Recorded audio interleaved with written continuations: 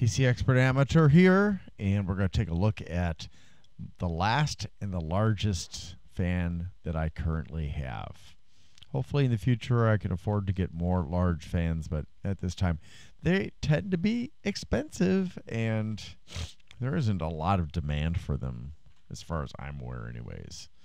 So this is actually a brand that was uh, was requested, uh, Yate Loon. And this is one of their older fans, but it is still on their website.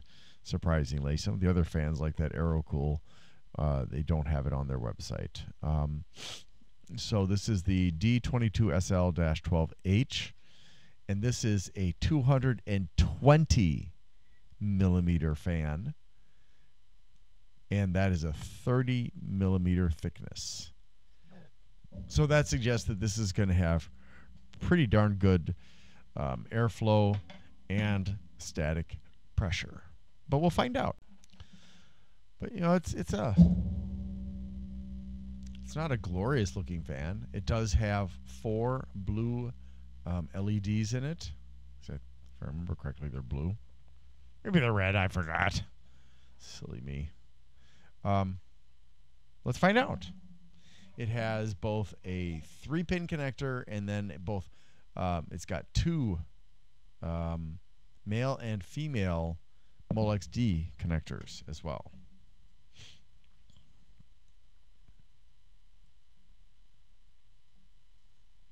And a fairly long three pin unsleeved uh, cable. You know, it's three wires basically, not even a cable.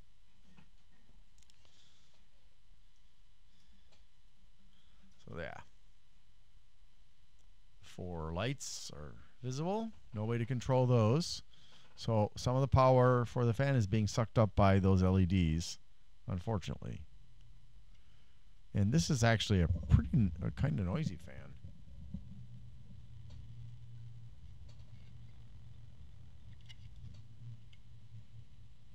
It's got quite the hum.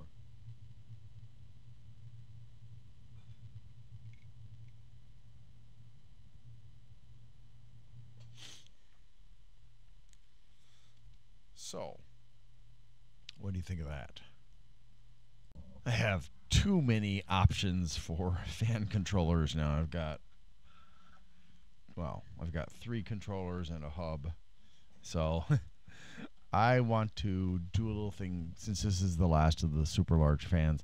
What I want to do is I want to um, run through the range of sound on this and compare to the Bitfenix, the Thermaltake, and the Aerocool, so you can at least have that understanding. So we'll start with this, obviously. Actually, are you okay with that? Or do you want me to do a separate video? I think I'll do a separate video. But I will let you hear the range of sound for this one.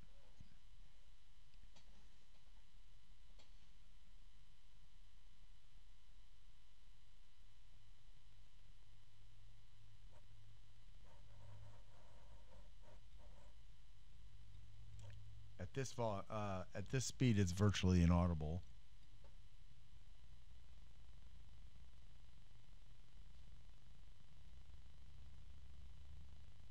Now there, now there's a very deep hum.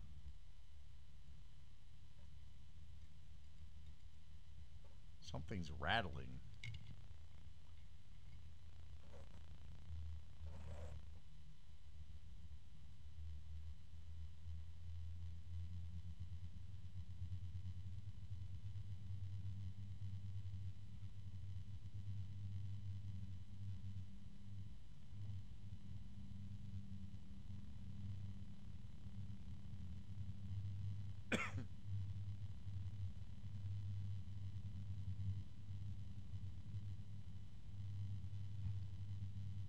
I don't think there's any resonances, but there is that deep hum. whoa, whoa. Okay, this fan is not particularly stable. Oh, it's oh okay. It's the frame. The frame is not strong enough. So when I'm I can actually warp it by pulling on the corners. Um, so be be very careful with this one.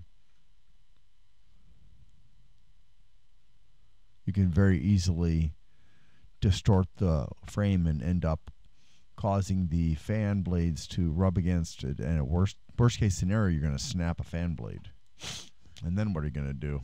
Just look at the blue lights? Hardly seems like a good idea to me.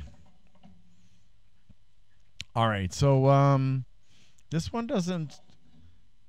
It has almost no um, static pressure to it. I mean, it's it's only really like right here that I can really feel it, and yeah, it's it's pretty darn weak.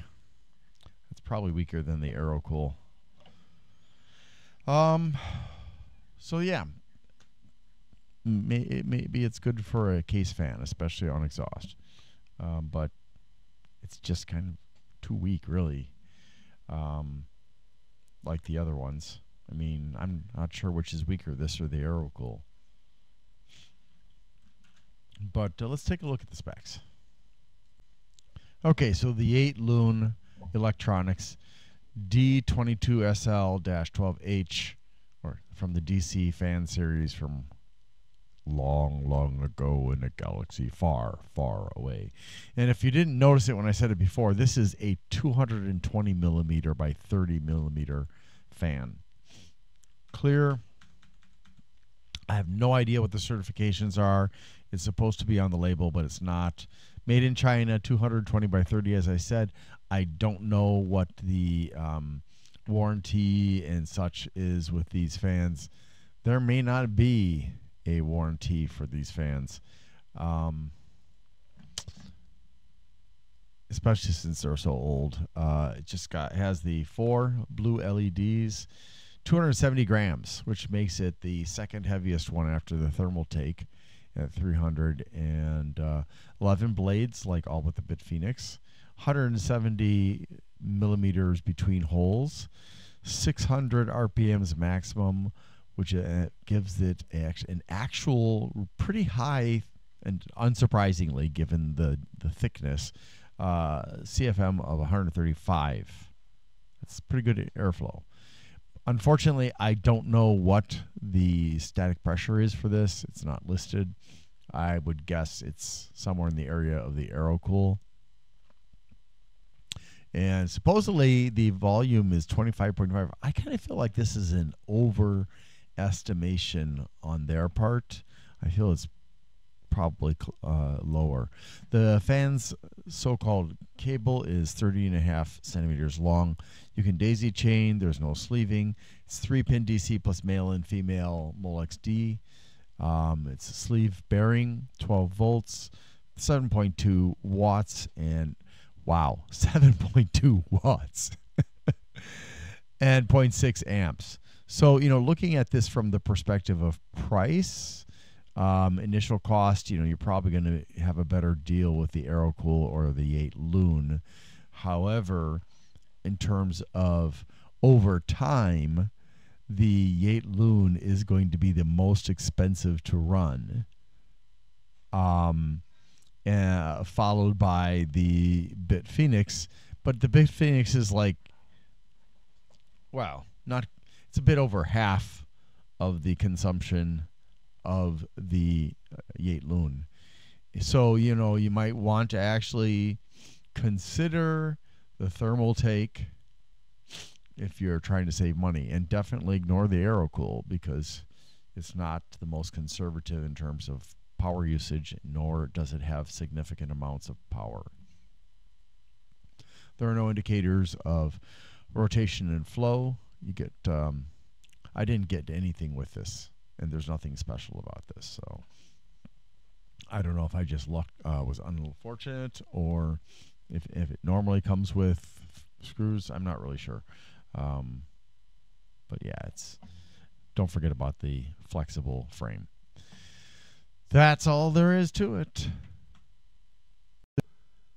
I'd like to thank Grinler at Bleeping Computer for allowing me to share my videos and posts on his website.